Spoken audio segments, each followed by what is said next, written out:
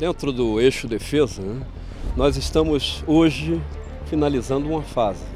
É a fase da preparação. Ah, nessa fase nós fazemos um grande aprestamento. Esse aprestamento envolve, claro, todas as forças que aí estão.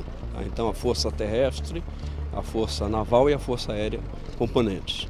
É fundamental isso porque nós praticamente balizamos o início das nossas ações. Tá?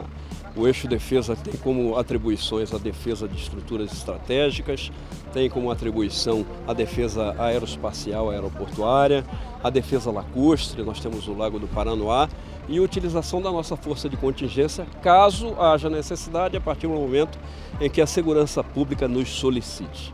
Então nós estamos prontos para atuar tá, de imediato nessas áreas que eu citei anteriormente e em condições de atuar como força de contingência.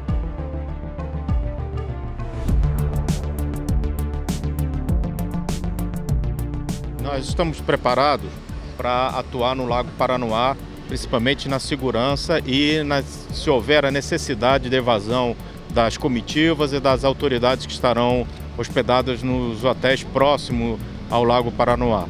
Então nós estamos trabalhando com cerca de 500 é, pessoas, 500 militares e mais as embarcações da Capitania dos Portos de Brasília.